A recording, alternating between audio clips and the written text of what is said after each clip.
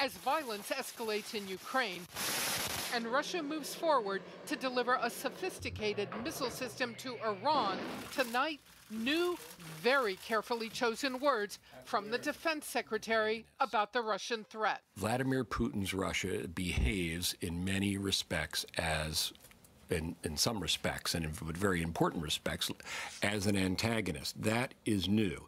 That is something, therefore, that we need to adjust to and counter. This follows the most senior generals also sounding a warning. If you want to talk about a nation that, that could pose an existential threat to the United States, I'd have to point to Russia. And if you look at their behavior, it's nothing short of alarming. I would put Russia right now, from a military perspective, as the number one threat. Why are they all saying this? U.S. military intelligence analysts increasingly worry Putin will turn his eye on Eastern Europe far beyond the violence he backs in Ukraine. As tensions rise, Russia poses uh, existential threat to the United States by virtue simply of the size of the nuclear arsenal that it's had. There's little indication Putin will help the U.S. in Syria by encouraging Syrian President Bashar al Assad to either step down or find a political solution to his war on his own people.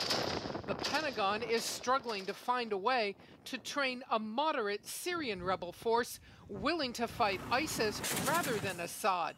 The first 54 U.S. trained fighters essentially melted away after being attacked.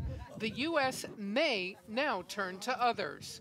The Kurds in both Syria and Iraq have been exactly what we've been talking about uh, earlier, namely a um, capable and motivated ground force at taking and holding uh, uh, territory. Training Syrian rebels, getting Iraqi forces able to retake Ramadi, and getting the Turks to shut down the border all essential to winning the war on ISIS. Your intelligence community says it's a stalemate. Well, then you can report that, but I'm not going to try to characterize it.